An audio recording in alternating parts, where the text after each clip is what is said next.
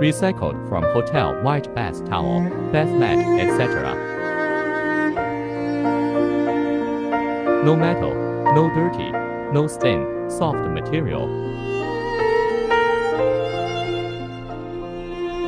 Strong water and oil absorbency.